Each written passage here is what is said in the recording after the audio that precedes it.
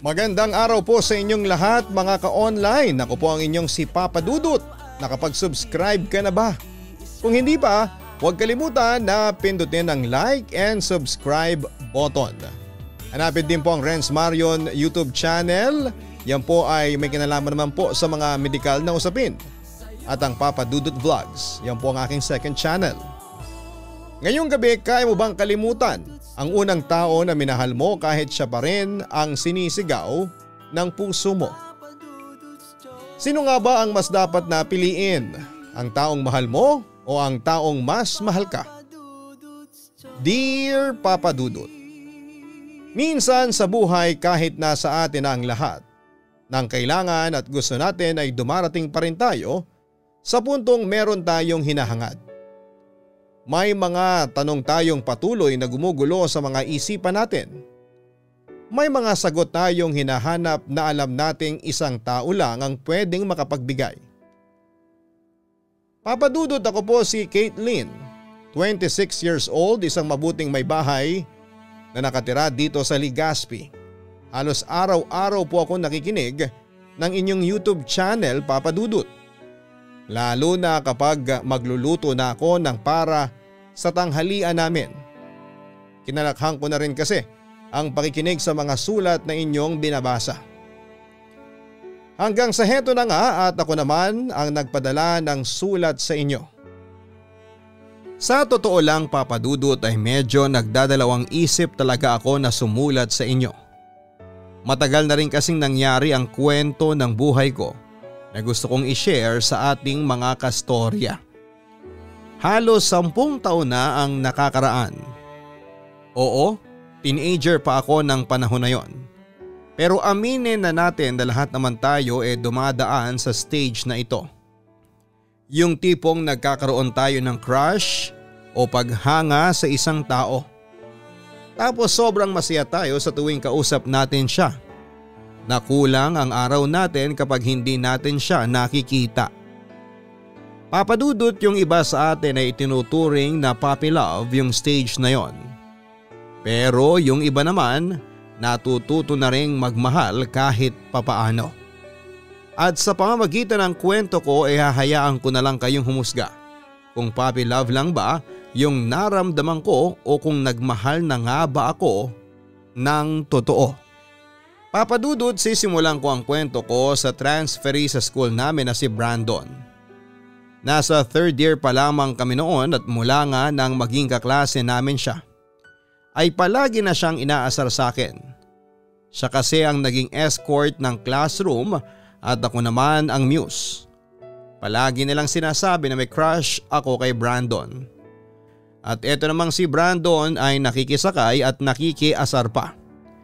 Palagi niya ring sinasabi na ako na lang daw ang manligaw sa kanya dahil crush ko naman daw siya na sobrang kinakapikon ko kahit medyo totoo na crush ko talaga siya.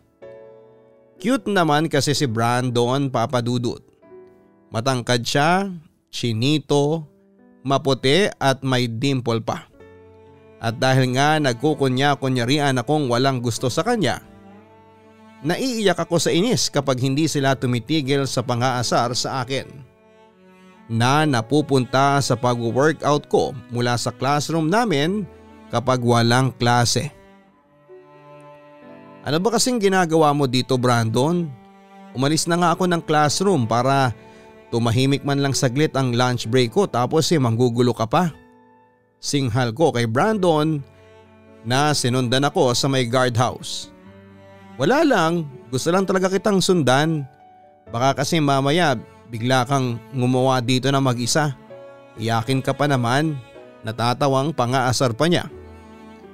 Alam mo, kung wala kang ibang gagawin kundi ang mang-asar, umalis ka na lang.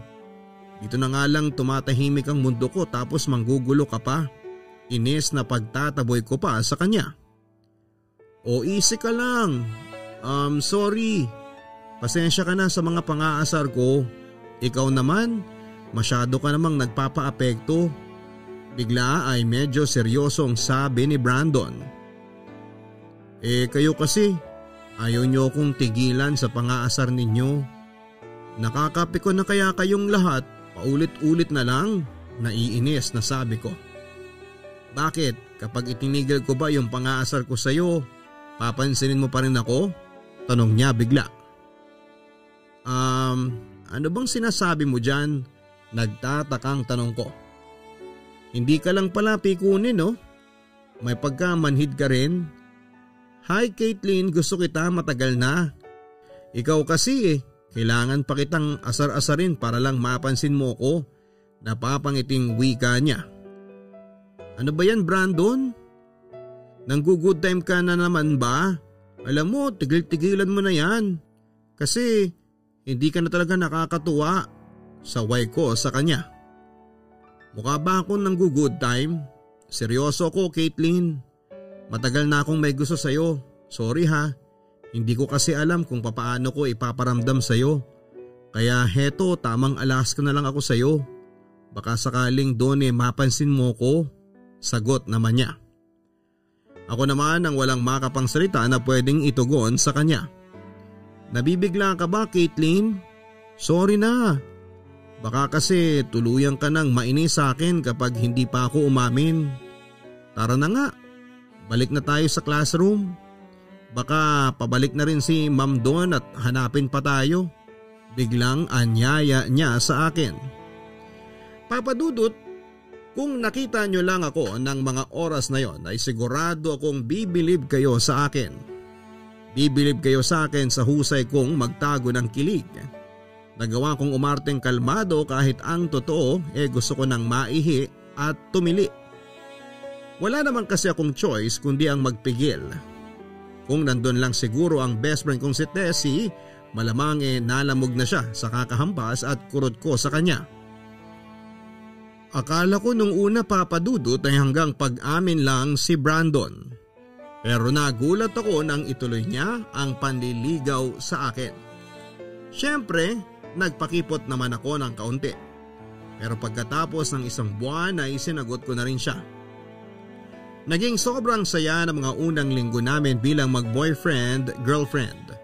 Lagi kaming excited na magkita sa school at hinahatid ako ni Brandon pag uwi pagkatapos ng klase. Yun nga lang papadudod parang dumating ako sa punto na parang nabibilisan ako sa lahat ng nangyayari. Nabibigla ako sa relasyon naming dalawa. From crush to jowa real quick.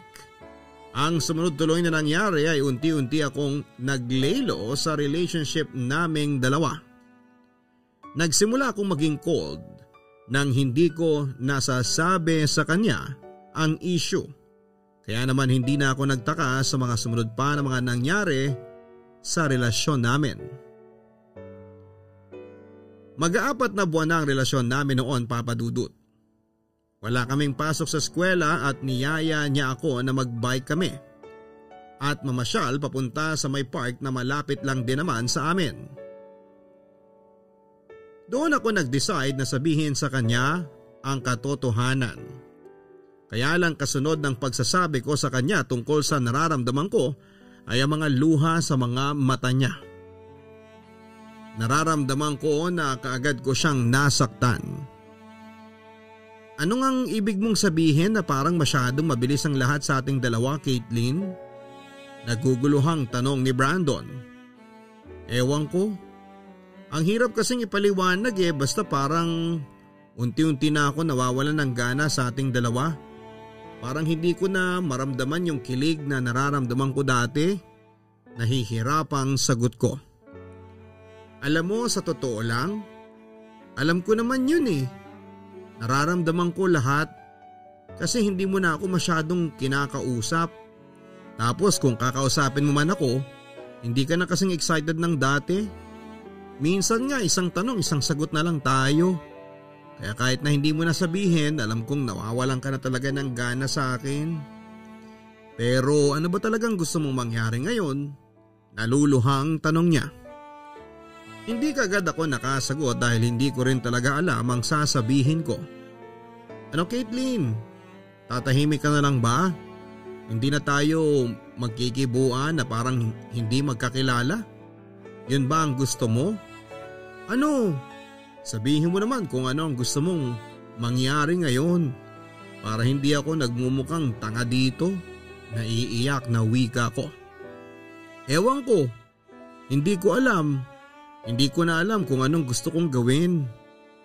Kung ano nang gusto kong mangyari sa relasyon na to. Naluluha na ring sagot ko. Pero magagawan pa naman natin ang paraan to hindi ba? Kung gusto mo, lumayo muna ako sa iyo. Sige gagawin ko kahit araw-araw kitang namimiss titiisin ko. Suhestyon niya. Brandon, hindi naman tayo nakakasiguro na magwo-workout yun eh. Baka masayang lang lahat ng pagod at oras natin. Pag-iling ko sa kanya. So ganun na nga lang yun. Pababayaan na lang natin yung relasyon nating dalawa na hindi man lang natin sinusubukang ayusin. Hahayaan na lang natin na mawala na lang lahat. Okay sige, ganito na lang. Alam ko naman na hindi mo lang kayang sabihin sa akin eh pero gusto mo nang makipaghiwalay hindi ba? Naiiyak na sabi niya. Hindi, hindi yun ang gusto kong gawin. Ang wika ko naman. Huwag kang mag-alala. Kung hindi mo kayang sabihin sa akin ang harapan, ako na lang yung lalayo. Ang sakit lang Caitlin kasi hindi mo man lang binigyan ng halagang lahat ng effort na ginagawa ko para sa iyo. Para sa relasyon nating dalawa. Nasa halip na mag-thank you ka dahil ginagawa ko ang lahat para iparamdam sa iyo na mahalaga ka eh hindi eh. Yun pa yata yung naging dahilan para mawalan ka ng gana sa akin. Salamat na lang sa pagiging honest mo. Sana maging masaya ka sa paglayo ko. Wika niya bago umalis sa harapan ko. Papadudot alam kong sobra kong nasaktan si Brandon noong mga sandaling yon. Pero alam kong mas masasaktan ko lang siya. Kung ipagpapatuloy pa namin yung relasyon namin na hindi na ako sigurado sa nararamdaman ko. Sa aming dalawa kasi ay siya naman talaga ang mas ma-effort Palagi niya akong pinagbabaon ng mga pagkain sa school. Binibigyan ng mga cute na regalo kahit na walang okasyon. At kung ano-ano pa. Mga effort niya na hindi ko na masyadong napa, napapahalagahan. Kaya habang maaga pa ay minabuti kong putulin na lamang ang lahat sa amin papadudot. Kung dati kasi sobrang excited ako sa aming dalawa, bigla ko na lang naramdaman na parang ang bilis ng lahat ng pangyayari. Kaya heto nga at nauwi na kami sa hiwalayan. Ang naisip ko noon papadudot kung sakali man na ma-realize namin na mahal talaga namin ang isa't isa. At kung kami talaga ang tinadhana sigurado namang magtatagpo at magtatagpo pa rin kami. Ewan ko ba naman kasi sa sarili ko. Hindi ko may paliwanag kung bakit bigla-bigla na lamang nagbago yung nararamdaman ko. Parang bigla na lang nawala ang kilig at pagmamahal ko na para sa kanya. Sinubukan ko na bang ibalik yon, Papa Dudut. Pinakiramdaman ko ang sarili ko pero wala na talaga. Kaya nga hindi ko na siya nagawang habulin. Naiwan na lang akong umiiyak habang nakatanaw sa pag-alis niya sa buhay ko. Papadudot aaminin ko na pagkatapos ng breakup namin ni Brandon ay umasa ako na magkakabalikan kami kaagad. Kung hindi man at least eh magiging okay pa rin kami sa isa't isa. Para kasing nagsisimula kong ma-realize na mahal ko pala talaga siya at ayoko nang matapos ang relasyon naming dalawa. Pero taliwas doon ang nangyari. Tuluyan niya akong nilayuan at hindi na nagparamdam. Siguro nga eh ganon kalala yung sakit na ibinigay ko sa kanya. Gustuhin ko man na huwag mawala ang communication namin, eh wala na rin akong magawa. Nagpatuloy kami sa kanya-kanya naming buhay hanggang sa hindi ko na siya ulit nakita o nakausap pa papadudot. Nag-transfer na siya ng ibang school nang nasa 4th year na kami. Hindi ko na rin makontak ang cellphone number niya at wala ring makapagsabi sa mga kaklase ko kung saan ko siya pwedeng kontakin para makausap. Sa totoo lang papadudot, hindi ko alam kung nasasaktan ba ako dahil mahal ko pa rin si Brandon o nagigilty lamang ako dahil ramdam ko na masyado ko siyang nasaktan. Ilang araw din akong umiyak nang dahil sa kanya lalo na kapag nami-miss ko siya. Pero hanggang doon na lang yon papadudot dahil pinutol niya ang lahat ng communication namin at hindi ko na siya nakita at nakausap pa. Pinilit ko na lamang ang sarili ko na makapag-move on. Alam ko kasi na yon ang kailangan kong gawin. Hindi pwedeng habang buhay ko siyang hintayin na bumalik o habang buhay kong paikutin ang mundo ko sa isang tao na ako rin naman ang dahilan kung bakit umalis sa buhay ko. Mabuti na lang at nandyan pa rin ang best friend ko na si Tessie para i-comfort ako. Pati na rin ang isang malapit din na kaibigan ni Brandon na si Francis na palagi akong pinapangiti. Alam kasi ni Francis na nasaktan din ako sa paghihiwalay namin ng best friend niya. Nakita niya kung papaano ako nag-effort na muling makausap si Brandon. Siyang palagi nandyan para sabihin na makakalimutan ko rin si Brandon. Hindi nga nagtagal papadudot, niligawan na rin ako ni Francis. At ang best friend ko naman na si Tessie ay palagi akong kinukumbinse na sagutin na si Francis. Paano kung sinagot ko siya tapos naging kami nga? Tapos eh biglang bumalik si Francis? Paano kung kailan masaya na kami ni Francis saka magparamdam ulit si Brandon? Tapos gusto pa niyang ituloy yung relasyon namin? Nag-aalala ang tanong ko. Eh di dead ma ka na kasi may bago ka ng jowa. At sorry na lang sa kanya kasi iniwan ka niya nang walang kahit na anong hint na dapat hintayin mo siya. Kaagad na sagot naman ni Tessie. Ewan ko ba pero parang ramdam ko kasi na napilitan lang siyang layuan ako nung huling pag-uusap namin. Parang gusto niyang sabihin sa akin na maghihintay siya pero hindi niya nagawa. Malungkot na sabi ko. Alam mo, mag-move on ka na. Kalimutan mo na lang tuluyan niyang si Brandon. Kasi kung patuloy ka pa rin magpapatali sa nakaraan mo, hindi ka makakaabante sa future mo. Baka kakahintay mo dyan sa taong hindi naman darating eh, yung tao nandyan lang sa tabi mo, yung mapagod naman sa kakahintay sa'yo. Paalala naman ng best friend ko. Papadudot na paisip ako sa sinabing yon ni Tessie. Well, aaminin ko na unti-unti na rin naman talaga akong nagkakagusto kay Francis. Pero sa loob-loob ko e eh, umaasa akong babalik pa si Brandon. Kahit hindi naman yon sinabi sa akin ng derechahan.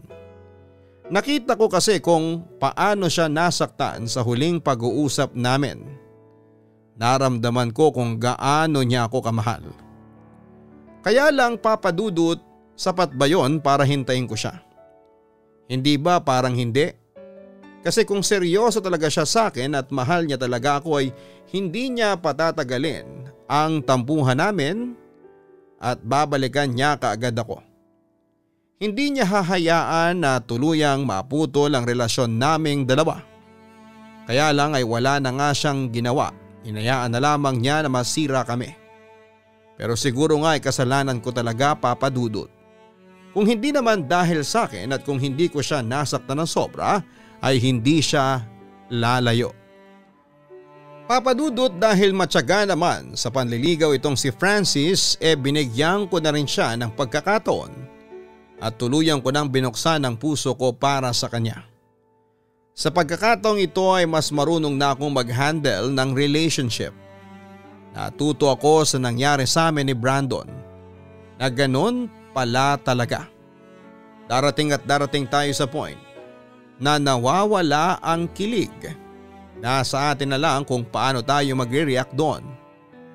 Kaya hindi ko na hinayaang mawala kaagad ang feelings ko para kay Francis. Hindi ko na hinayaan na masira kami kaagad. At mas nag-effort na ako sa relasyon naming dalawa. Kaya lang kung kailan naman totoong minamahal ko na si Francis ay saka naman ako makakatanggap ng tawag mula kay Brandon. Nung una ay kinumusta niya ako at ang relasyon namin ni Francis hanggang sa magbitaw na siya ng isang tanong. Caitlin, mahal mo na ba talaga siya? Masaya ka ba sa kanya? Tanong ni Brandon na hindi ko rin kaagad nasagot. Muli kasi akong naguluhan noon sa nararamdaman ko. Bakit ba tinatanong ko pa to? O siya sige na. Ibababa ko na to ha. Kita-kits na lang tayo next time. Paalam naman niya bigla. Brandon sandali lang. Kagad na pagpigil ko sa kanya. O bakit? Tanong niya. Anong bakit? Ganon na lang ba talaga yon? Matagal kang nawala tapos eh bigla kang magpaparamdam para mangumusta lang at magtanong ng kung ano-ano? Medyo naiiyak na wika ko. Ano bang dapat na gawin ko? Tanong niya pa. Magpaliwanag ka. Sabihin mo sa akin kung bakit ka nawala. Kung saan ka nagpunta. Kasi Brandon sa totoo lang ang dami kong tanong sa sarili ko. At alam kong ikaw lang ang makakasagot ng mga yon, sagot ko. At teka, huwag mong sabihin hindi mo alam, muling tanong niya. Malamang, kaya nga nagtatanong di ba? Sabihin mo na sa akin ngayon ang dahilan mo. Bakit ba bigla ka na lang nawala? Tanong ko naman. Caitlin, mas maganda siguro kung saka na tayo mag-usap. Meron lang akong kailangang ayusin. Sige na. Tawagan na lang kita. Bye. Seryosong paalam niya bago binaba ang tawag na yon. Papadudot nag-iwan ulit ng maraming tanong sa akin ang tawag ni Brandon. But this time ay hindi lang siya ang pwedeng sumagot kung hindi pati ako. Napaisip ako at ilang ulit ko na muling tinanong ang sarili ko, mahal ko na nga ba talaga si Francis? Masaya ba talaga ako sa relasyon naming dalawa? O ginawa ko lang siyang rebound para hindi ko na hanap-hanapin pa si Brandon? Sa totoo lang papadudot ng dahil kay Francis ay nabawasan ang pagkamis ko kay Brandon. Pati na rin ang sakit na nararamdaman ko nang hindi na siya nagpakita sa akin. Masaya ako oo pero parang hindi kasing saya noong mga panahon na si Brandon ang karelasyon ko. Pero hindi naman na mahalaga yon sa akin kasi ngayon ay si Francis naman ang kasama ko. Siyang naging dahilan para muli akong maging masaya kahit na papaano. Siyang palaging nandyan para sa akin. At kahit kailan, hindi niya pinaramdam sa akin na nag-iisa ako. Yun naman ang mahalaga doon. Yung i-appreciate yung taong nandyan palagi para sa akin. Kahit parang pakaramdam ko hindi naman siya yung talagang mahal ko. Ang mahalaga, ako ang mahal niya. Ako lang at wala ng iba. Papadudot kagaya ng dati ay hindi na nga muli pang nagparamdam si Brandon. Alam kong mali dahil may boyfriend na ako pero ilang ulit kong sinubukan at tawagan ng cellphone number na ginamit niya para makausap ako. Pero ni isang beses ay hindi ko na yon na-contact. Hindi ko nga alam kung bakit ko pa yon ginawa. Kung bakit umasa pa ako na makakausap ko ulit si Brandon.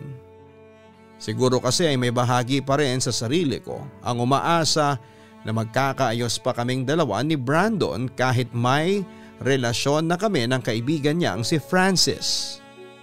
Aminado ako na sobrang selfish ko that time. Alam ko sa sarili ko na kayang kaya kong i-give up ang relasyon namin ni Francis sa oras na bumalik si Brandon. Pero hindi nangyari yon papadudot dahil hindi naman bumalik si Brandon. At dahil nga nagigilty ako sa ginawa at naramdaman ko pagkatapos ng isang beses sa tawag ni Brandon na hindi na muling nagparamdam. Pinigilan ko na ulit ang sarili ko na muli siyang maalala at ginawa ko ang lahat para makapag-focus sa relasyon namin ni Francis. Yun naman kasi ang dapat kong gawin papadudot. Ang mahalin ng taong palagi nandyan para sa akin at si Francis yon at wala nang iba. Ayun nga lang, may malalaman ako na sikreto para biglang masira ang tiwala at pagmamahal ko na para sa kanya. Gumagawa kami noon ng report paper para sa isang subject namin at nagpaalam si Francis na lalabas muna para bumili ng merienda at naiwan ako sa bahay niya. Kinailangan ko namang kunin ang notebook mula sa bag niya pero may nakita ako doon na isang sulat na may napakapamilyar na sulat kamay. Kabado man ay sinimulan ko yung buksan at basahin at nagulat ako sa nilalaman ng sulat na yon. Dear Kathleen, Pasensya ka na kung sa sulat ko lang idinaan nito. Baka kasi ayaw mo pa rin akong kausapin. Pero gusto ko lang malaman mo na lalayo muna ako dahil yon ang sa palagay ko ay kailangan mo. Space and time mula sa akin. Pero Caitlin, hihintayin pa rin kita. Aasa ako na sana bumalik yung dating kilig mo na unti-unting nawala. Na sana bumalik yung dating ikaw na minahal ko ng sobra. At kapag nangyari yon, asahan mong nandito pa rin ako at palagi kang may babe na babalikan, nagmamahal at naghihintay, Brandon. Tumutulo na noon ang luha at sipon ko nang matapos kong basahin ang sulat. Ang sulat na sagot sa lahat ng mga tanong ko na iniwan sa akin ni Brandon noon. Mahal, nakalimutan ko palang magdala ng pambayad. Paabot naman ng ma- mahal? Bakit ka umiiyak? Eh teka, bakit mo hawak yan? Akin na nga yan? Sinubukan na agawin ni Francis ang papel mula sa kamay ko pero mas naging maagap ako. Francis, ano to? Sasabihin mo ba sa akin ang tungkol o iiwanan kita dito? Naluluhang wika ko. Bakit ba kasi gusto mo pang malaman? Nakaraan na yan, hindi ba? Mahalaga pa rin ba yan? Giit naman niya. Oo, sobra. Kung alam mo lang, napakarami kong naging tanong at napakaraming gumugulo sa isipan ko kaya please naman oh, sabihin mo na sa akin kung ano ba talaga ang totoo. Totoo ba tong sulat na to? Pakiusap ko. Kinausap ako ni Brandon bago siya umalis noon at tumigil sa pag-aaral. At nakiusap siya sa akin na iabot sa iyo ang sulat na yan na hindi ko ginawa dahil mahal kita nung una pa lang. At tanggap ko na kung magalit ka man. Mas pinili kong maging tayo kesa sa pagkakaibigan namin dalawa ni Brandon. Inayaan ko siyang mawala. Pero mahal sana naman eh, wag pati ikaw. Mahal please, sorry na. Pagmamakaawa niya. Sorry? Para saan? Sa pagsisinungaling mo sa akin o sa kanya? Francis, hindi mo alam kung paano mo ginulo ang isipan ko at nararamdaman ko sa matagal na panahon. Ilang beses ako nagtanong kung bakit hindi man lang nagpaalam si Brando nung umalis siya. Kung maghihintay pa ba ako o naghihintay pa ba siya? Naiiyak na sabi ko. Pero hindi ba ako ang mahal mo ngayon? Yun naman ang mas mahalaga hindi ba? Yung relasyon nating dalawa? Giit pa niya. Oo, minahal kita. Pero iba na ngayon Francis. Ngayong nalaman kong ipinagdamot mo sa akin yung bagay na magpapalaya sa akin, ewan ko kung kaya ko pang panindigan ang nararamdaman ko na pagmamahal para sa iyo. Ang wika ko. So ano? Babalikan mo yung brando na yon? siya pa rin ang mahal at pipiliin mo? Tanong niya. Sa totoo lang Francis ay hindi ko na alam eh. Alam mo kung gaano ako nagtiwala sa iyo. Kahit alam kong may kulang, may kulang sa akin, sinikap ko maging kumpleto para sa iyo. Para maging handa akong tanggapin ang pagmamahal mo. Pero dahil sa nalaman ko ay eh, parang mas lalo mo lang dinagdagan yung mga tanong na meron ako. Binigyan mo ako ng dahilan para lalong malito sa nararamdaman ko para sa inyong dalawa. Maiyak-iyak naman ang sagot ko. Papadudot marahil ay nagulat kayo ngayon sa mga nangyayari. Sa totoo lang, ako din. Alam niyo yung feeling na isang sorpresa lang naman yung dumating pero parang sampung sakuna ang katumbas. Hindi ko alam kung anong mararamdaman ko. Hindi ko alam kung papaano magre-react. Hindi ko alam kung ano ang dapat na gawin. Mula sa poll pala ay alam ni Francis ang tungkol sa paglayo ni Brandon. Alam niya rin na huminto sa pag-aaral si Brandon dahil nawala nito ng gana mula nang mag-break kami. Alam niya lahat yon pero hindi niya sinabi sa akin. At pinalabas niya rin kay Brandon ay siya ang pinili ko. Sinabi niya kay Brandon na wala na itong pag-asa sa akin. Mga bagay na puro kasinungalingan. Kaya siguro lalong nasaktan at lumayo sa akin ang unang lalaki na minahal ko. Papadudot kagaya ng sinabi ko kay Francis ay mas marami akong naging tanong dahil sa mga nalaman ko. Ang daming what ifs. What if hindi ko hinayaang mauwi kami sa hiwalayan ni Brandon? Kami pa rin kaya hanggang sa ngayon.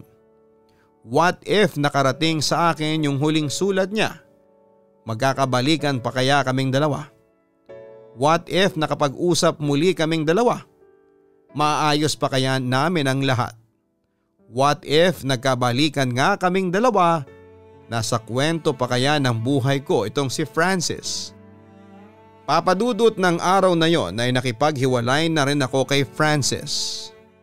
Oo, kahit papaano ay mahal ko pa rin siya. Pero ayoko na kasing ipagpatuloy ang isang relasyon na nagsimula sa pagtatago at kasinungalingan. Pakiramdam ko rin kasi mas lalo kong hinahanap-hanap si Brandon pagkatapos kong malaman ang tungkol sa sulat. At alam ko sa sarili ko na mas mahal ko na siya kesa kay Francis.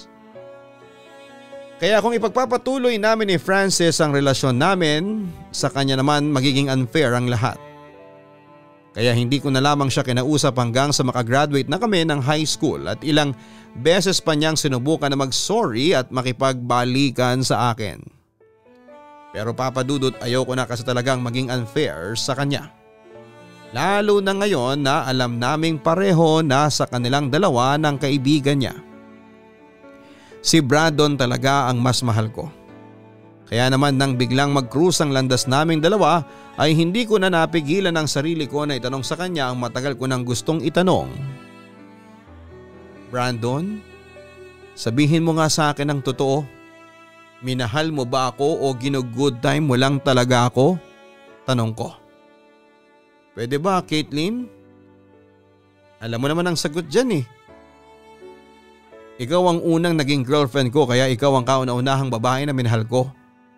Kaya nga nawala na ako ng ganang mag-aral eh dahil nawala ka na sa akin. Seryosong sagot niya. Bakit hindi mo ko binalikan? Tanong ko pa. Dahil nalaman kong masaya ka na kay Francis. Bakit pa ako manggugulo? Patanong naman na sagot niya. Pero kung mahal mo ko, babalikan mo ko. Ipaglalaban mo ang nararamdaman mo para sa akin. Giit ko. Kahit na hindi na ako sigurado na ako pa rin ang mahal mo, na ako pa rin ang pipiliin mo sa huli. Caitlin, ikaw ang nakipaghiwalay sa akin, hindi ba? Ikaw ang unang umayaw. Ikaw ang unang sumuko. Panunumbat naman ni Brandon. At lahat yon, pinagsisihan ko na. Hinintay lang naman kitang bumalik eh. Kasi sa totoo lang Brandon, kung sakali mang bumalik ka sa buhay ko, at kaming dalawa pa rin ni Francis, ikaw naman ang pipiliin ko dahil ikaw ang mas mahal ko. Kaya lang hindi ka na bumalik. Naiiyak na sabi ko. Wala na kayo ni Francis? Hindi makapaniwalang tanong niya. Oo tinapos ko na ang relasyon namin. Mula nang malaman ko ang tungkol sa sulat mo na hindi niya ibinigay. At doon ko na realize na ikaw talaga ang mas mahal ko Brandon. Na hinihintay lang talaga kitang bumalik. Pero alam mo tama ka eh. Wala na talaga tayong dapat ayusin nung umpisa pa lang. Sagot ko. Caitlin, I'm sorry. Usal ni Brandon. No. Ako yung dapat na mag-sorry. Kasi kagaya ng sinabi mo sa naging relasyon natin noon, sa ating dalawa ikaw lang naman talagang nag-effort. At wala akong ibang ginawa kung hindi ang hayaan na masira ng pagiging immature ko ang relasyon nating dalawa. Ito lang din talaga siguro ang kailangan ko Brandon.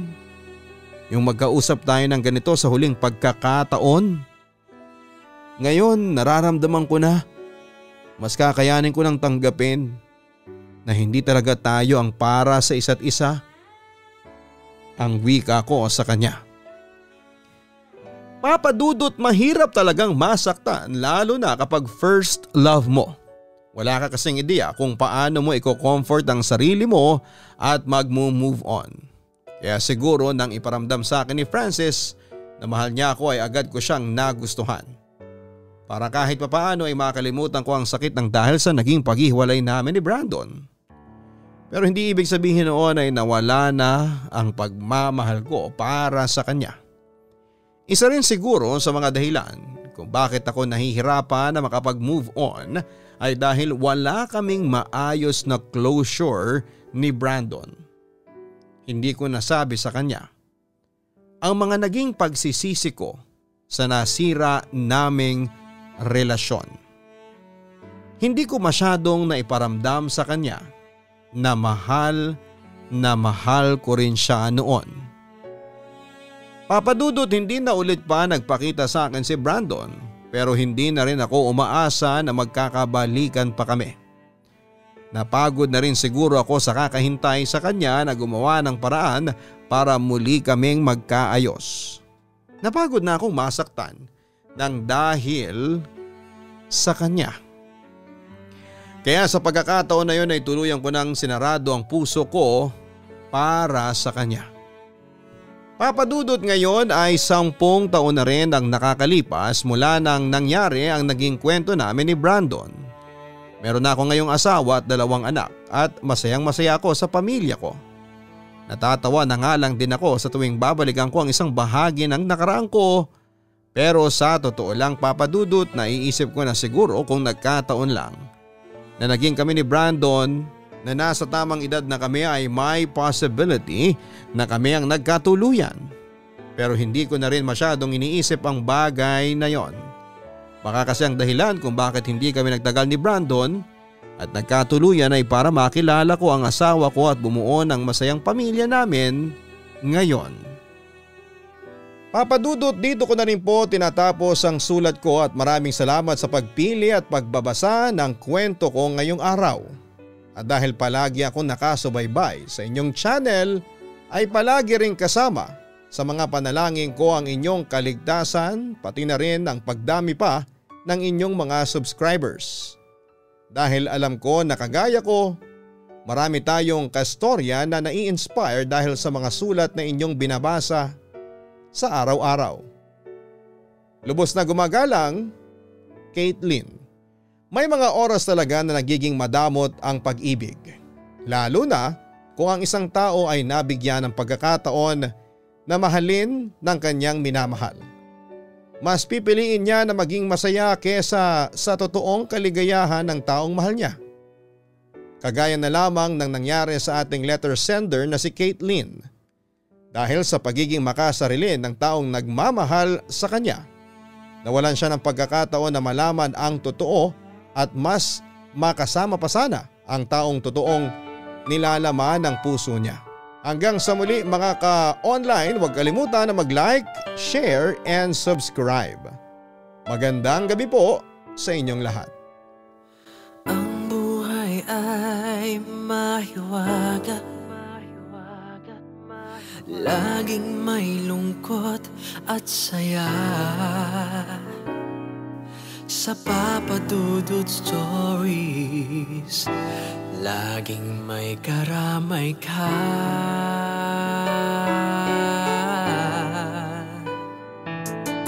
Mga problemang kaibigan. Dito ay pakikinggan ka. Papadudod stories Kami ay iyong kasama. Dito sa